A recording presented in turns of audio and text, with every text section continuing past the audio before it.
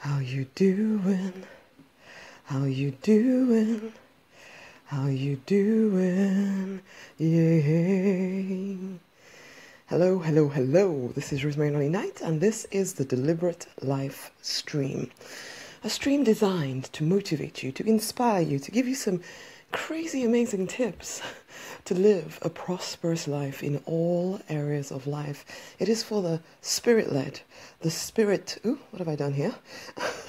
Those who know that they're born and called for something more, born to prosper in all ways, also to make a difference. They know there is something that they are here to bring onto this planet, and they're done with waiting.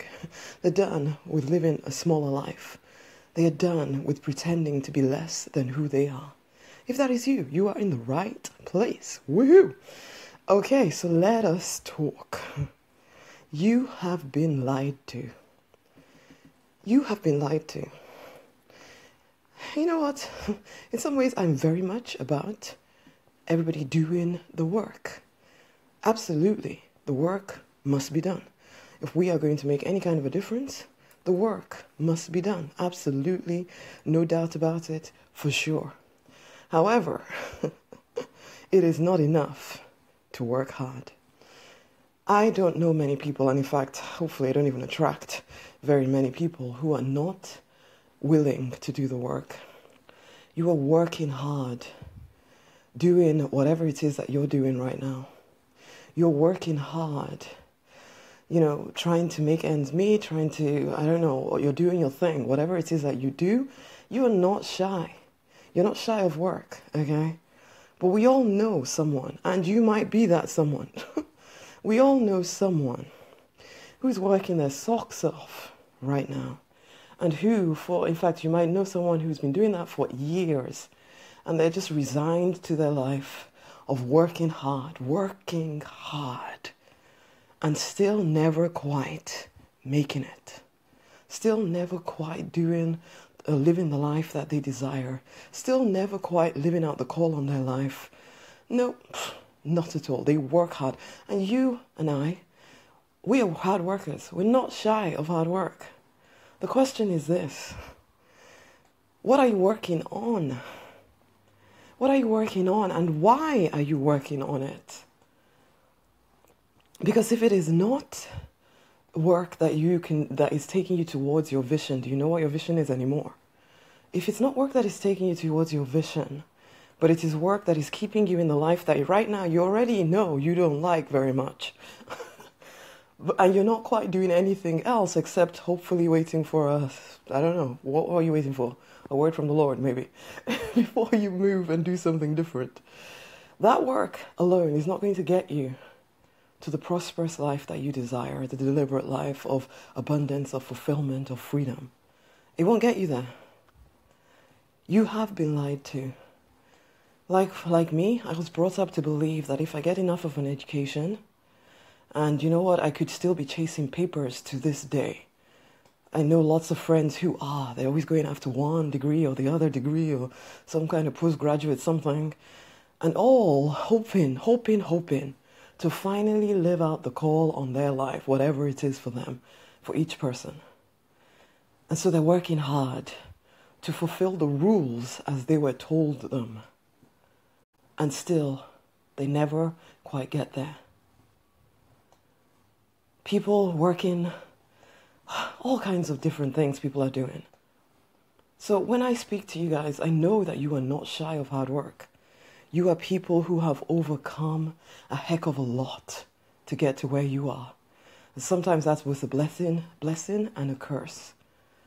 A blessing because yeah, you're not shy of hard work. Once you're pointed in the right direction and you see why you need to do it, you will do the right stuff and get where you need to go. You will get the prosperity in all areas of your life for sure. The curse because you are so stuck in thinking that you have to keep obeying these rules, these, these other people's plans and opinions for you. You're so stuck in other people's approval of you, of fake accolades that just keep you stuck in place. Everybody patting you on the back because you're doing what they want you to do. You're working hard at it, but you're not getting anywhere near where you want to go. But you are working hard, though. You are working hard. A curse as well because you don't realize that it takes more than just work. It takes going deep inside. It takes trusting your intuition, trusting spirit within you, getting in contact and staying in contact. I know lots of spiritual hard workers. We, I was one of those that I would look at every all the spiritual people saying I'm waiting on the Lord, and I would judge them as weak, stupid.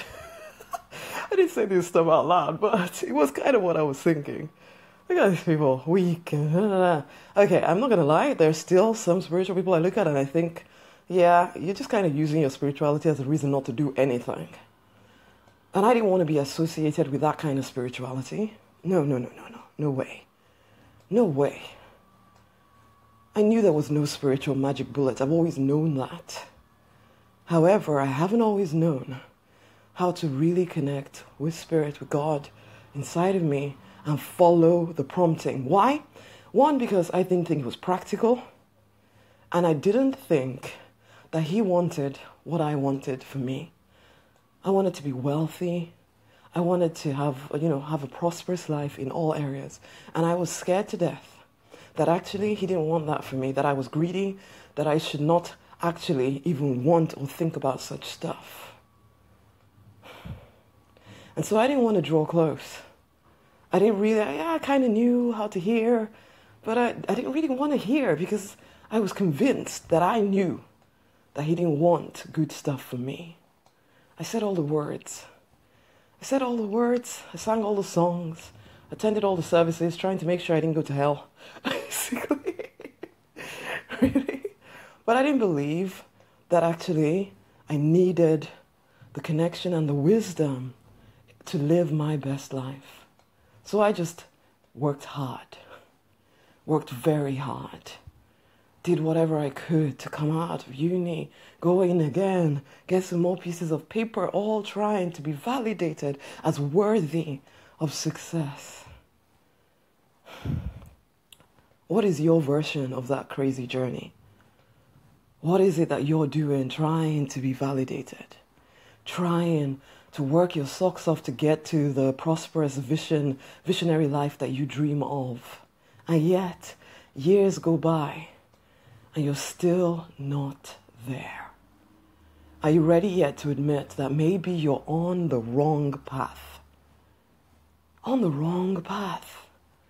The life we desire is an uncommon life, a life of uncommon success in all areas, okay? I don't believe in prosperity just in the form of money.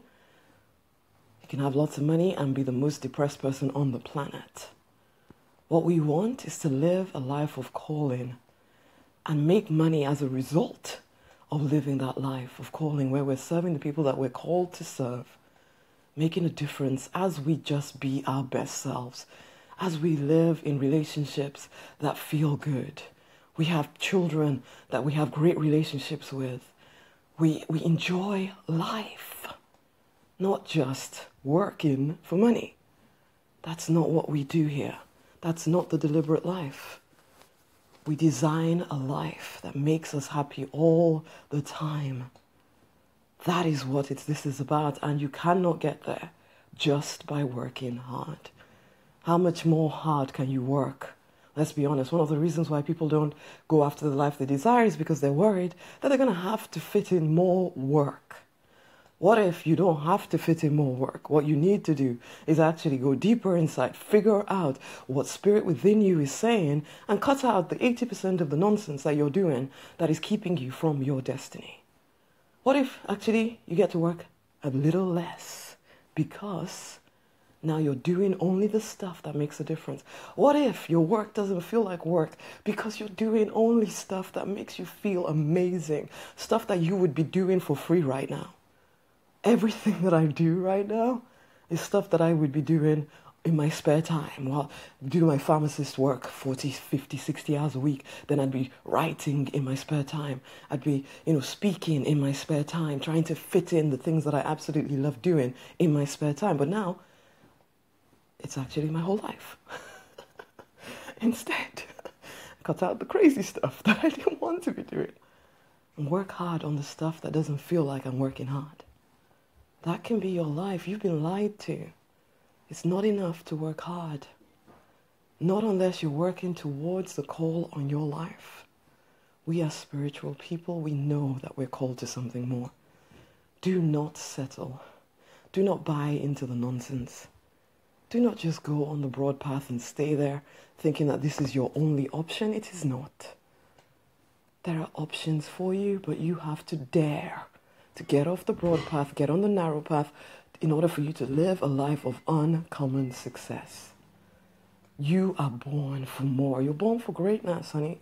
You cannot look at people who have who've chosen to live average lives and, and, and then find your, your inspiration in there. Of course not. You've been lied to, honey. They don't even know they're lying to you. That's the problem. They don't even know they're lying to you. They're just doing the best they know how to do. And I'm saying to you, honey, you know what I'm saying because it resonates in your heart that you are born for something more. And I ask you to stop giving away your life to a lie. Stop giving your life away to a lie. You were born for something more. The deliberate life path calls you. It's like when Jesus said something along the lines of, Bring your burdens to me and I'll make your yoke a lot easier. This will. This will. You need to work on letting go of some of those crazy ideas that were planted in you from birth. You need to transition to a place of wholeness, a place of prosperity. First and foremost, in your mind, in your heart, in your spirit, you need to remember who you are really, truly born to be. And then, then, you move to the next level or at the same time as you're learning prosperity again, remembering who you are, you are also taking the right kind of action, doing the right kind of work that will lead you in the direction that you want to go in, the direction you are born for. You kind of know what I'm saying. You can feel the resonance in your heart saying, oh my gosh, kind of known that something is not quite right. Are you ready, though, to do something about it? That is the question. Are you ready to do something about it? Because otherwise, you'll be trapped here working hard, working hard, wondering why you're not getting anywhere, and getting more and more jaded, getting more and more like, oh, really? When am I going to get there? Maybe I just need to give it up. Maybe it's just not real. Maybe it's just a figment of my imagination and I'm deluded for thinking that I am born for something more. You're not. But it's easy to get to that place of thinking that you are because you're working so hard. I get it. Honey, as the picture says right there, you are created in the likeness of the divine. You will always seek to return to your true nature, so why not just surrender to it right now? Okay. If this has resonated with you, which if you're still listening, I know it has, then go and get my free book. I've done a written version for you. I even did an audio version for you. So no excuses. You can listen to this on the way to work or whatever it is that you're doing. It's called Pray, Affirm, Receive. You can get it at rosemarynonnyknight.com forward slash book gift. I'm going to type it in right here. It's rosemarynonnyknight.com forward slash book gift. I exhort you to stop believing the lie and instead get on the right path for you. It is your time to prosper. You ready? If you're that determined spiritual person, you know you're born to prosper in all areas, go get the book. Until the next time, my honeys, much amazing love.